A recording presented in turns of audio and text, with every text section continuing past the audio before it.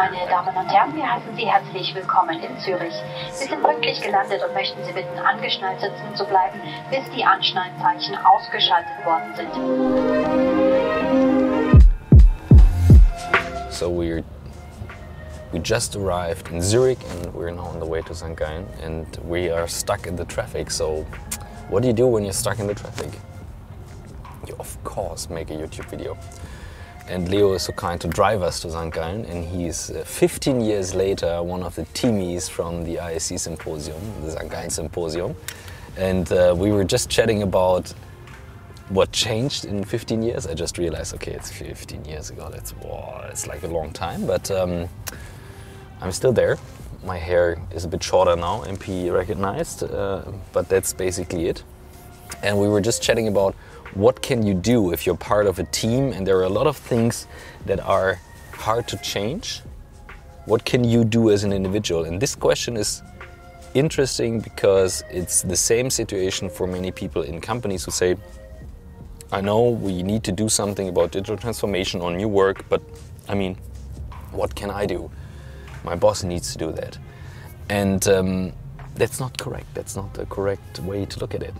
You can do things even if you're in that position. It always depends on the way you do it and how you communicate it. So here are the things I think you can do when it comes to digital transformation on your work, no matter in what position you are.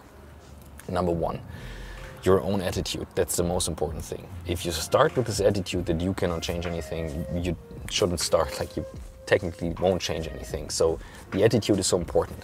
And I always bring this example of use your smartphone for everything. It's not a game, it's for helping you to change your attitude because if you start using this as your main work device, you actually use the device that has most of the artificial intelligence built in and you change perspective. So you usually think, oh, I need a computer to get certain stuff done. If you limit yourself down to this, you get more creative to do things in a different way. So you look at these things in a different perspective. The same is true for the view that your customer has on the company because this is usually what the customer has. So that's why I use this smartphone only habit to actually change the attitude in everyday work. That's number one thing. Number two, don't think of like too big stuff to change, but think of like what is the one small step I can start, like I can spark off, which helps to kind of start this movement. There is this fantastic video from, oh, what's his name?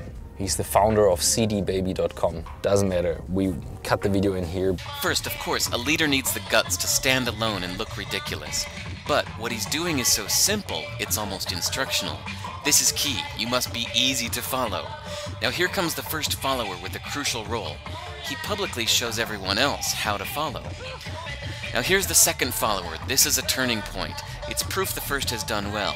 Now it's not a lone nut, and it's not two nuts. Three is a crowd, and a crowd is news. As more people jump in, it's no longer risky. If they were on the fence before, there's no reason not to join in now. They won't stand out, they won't be ridiculed, and they will be part of the in crowd if they hurry. So what you need to do is like if you start something, you always need to make sure there's someone following you and it should be easy enough to follow you in a project. If you come with this crazy ideas that nobody can follow and like takes for a month or whatever, it's very, very hard to follow through. So one example we had in the symposium was we had a booking system 15 years ago for the hotels, which was an Excel list. And it's very difficult to like book Excel for like 2,000 participants. So we came up with the idea for a system that would help with this specific process. If you go fast forward 15 years later, of course, if you have something like Office 365, Microsoft Teams, for younger people, it's obvious that that's the better way to communicate. But it's very hard to like stay away from email within certain large organizations. But changing the email habit in a way that it turns into a short messenger, that can help to spark this process. So think of these small steps that you can do and not of like what is the big shot project. Number, that was number two, number three, we have this value which is called new is good. So even within Blackboat, sometimes I'm like overwhelmed with work and I don't find the time to like do certain stuff. Specifically, if it's about the security features that we have within the company. So Michael, our uh, master of security, who is he's always running behind me, say like, okay, there's a new app we, we need to use and we need to use this, and I was like, I don't have the time. But then I remember this value, new is good, to like look at these things to see like what what is changing, how does it change, how does it help me, and even if you think you are already like using a lot of new stuff, it's again about this view on certain things to say new is good no matter what. Nostalgics have number one, the new stuff is good stuff. You can of course use the old processes and old ways, but it's good that things are changing.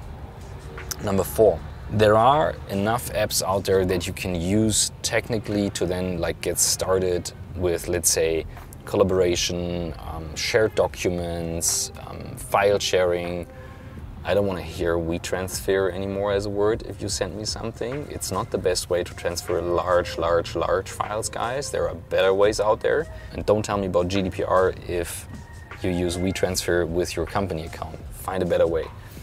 What I want to say is these different apps are so easy to like adopt and start using. But if you do that, keep in mind that there are like two ways that you can end up. Number one is you use too few of them, so you're not in the cloud. That's how we call it. And number two, that's the worst way. You start using a lot of these apps within a company. So these apps that do technically the same thing. Let's say you use Slack and Microsoft Teams and you have a WhatsApp group. Let's say um, you have Dropbox, G Suite, and WeTransfer to like transfer data. Yet, let's say you use Asana and Trello the tool itself won't solve the problem. It's always how you use it. If you have these many tools, you're lost in the cloud, which is the other side. That's worse. So be a good team member and like do it hand, how do you say that? Um, hands up with the IT guys and with the guys who are responsible for the tools. Ask them if there's something there already. It makes their life a lot easier if you have it like from one provider, from one bucket even if it's not the best, best, best tool in the world. In the end, it goes down to communication. That's the most important thing. Last one, number five. The one thing that is important for digital transformation is communication. Like, how do we communicate and how do we collaborate? So, any tool that helps you to improve that is a good tool. That's why WhatsApp is so successful, even if it's not a business tool. But everyone has WhatsApp these days, and people use it and make a group. We just shared the location with the guys who organized the event. We're here to meet Hyperloop. Um, so we have a Hyperloop group, of course, and all the details are in the group. I don't know if we can show that, but that's okay. And whoever needs to be in the group is in here. It's very fast, it's very transparent, everyone is on the same page. It's not like with emails where you can take people off CC and in CC and out and whatever. It's email is a total mess, but this helps you to communicate faster. Any tool that does that is a good tool. So look at Microsoft Teams. Most companies have that anyways, but don't use it. Slack, WhatsApp. That's what you can do. Be a good team member. And now make sure you subscribe here. And if you don't want to subscribe, there's another video up here made by the artificial intelligence from YouTube. So maybe it's a good video for you to watch. And then after that video, you subscribe down there. Thanks for watching, guys. See you next week. Stimmt. Next Week ist ja auch mittlerweile relativ. Tomorrow. Ja, so, ne?